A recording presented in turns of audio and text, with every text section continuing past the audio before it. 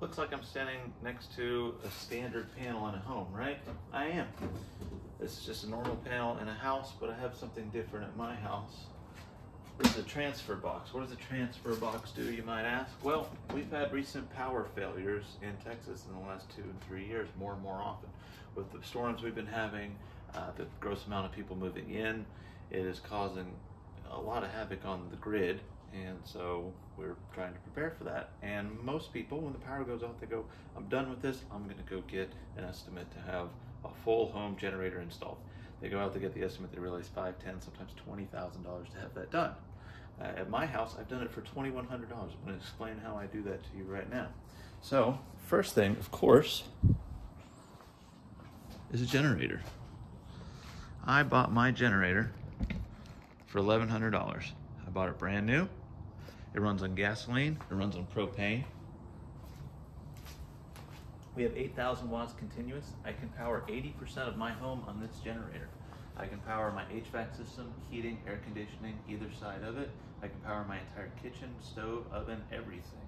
I can do all that off of this, run, watch TV, everything. Um, my house is 1,800 square feet, three bedroom, two bath, nothing huge, but uh, with an even lar larger version of this for $1,500, you could do a lot more. So you obviously know there's gonna be these 110 outlets on it. You could go around and start plugging things in the refrigerator and everything else, but get a transfer box. So this was $1,100. Transfer box, any electrician will install one. They're relatively inexpensive. I did mine for, I believe I paid right around $1,000 to have this installed. So this is a transfer box and the transfer box is connected directly to the panel. Line power comes through. We have these switches that say line off generator, right? We have circuit breakers for the transfer box. We have our circuit breakers for the home here. So we have it labeled here. This is garage, number eight, or uh, J. So we go over here, you'll see that the garage lights will turn off in the background. So those are off. If I was hooked up to generated power, they would go from line to off to generated power. So how do we get the generated power to here without running just a whole bunch of little switches? You see this big plug right here. So let me show you that. Get this back set up on the tripod. Right here, we have a gigantic plug. This plug right here is the same plug that you would hook up your RV to an RV park with. It works in the same capacity to provide power to your home. So I have that transfer box that has all the power running through that transfer box that I want. My garage, so I can open the garage door in a storm, my internet, TV, the most important things, right? Heating, air conditioning, kitchen, all the things we need, our bedroom, our bathroom, it's all on there. I just take this, I leave this in the shed in the backyard. When the power goes out, I can pull it out, fire it up. I take this right here, plug it in there, and I just come over here. It's keyed, so it can only go in one way. Plug it in, twist it, turn it on, and start flicking everything from line to generated power. This right here has a 10 gallon fuel tank on it. I can power my house for about 11 or 12 hours on a 10 gallon tank.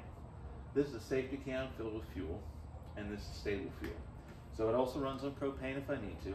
Stable fuel keeps fuel fresh for a long time. I put this in the same stuff that I put in a lawnmower. I put it in this can. This can can sit for two years uh, with this in it, and the fuel won't go bad. It can sit for quite a lot longer, but two years is the shelf life on it. That's what they tell you.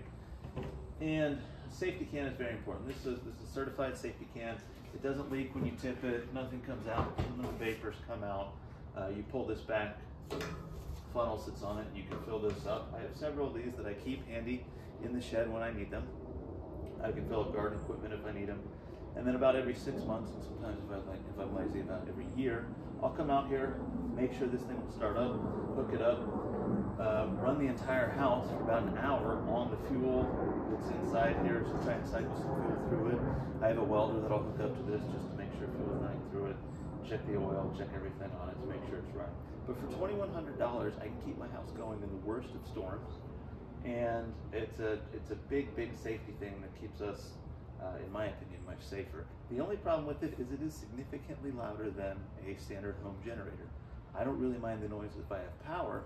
Problem is every single one of my neighbors hears it running and they know that my house has power and theirs doesn't. So whether that's a good thing or a bad thing, I'm not entirely sure, uh, but I'll take the noise over it. If you have any questions, leave them down below. I'll try and answer them or email me directly. Thanks, guys.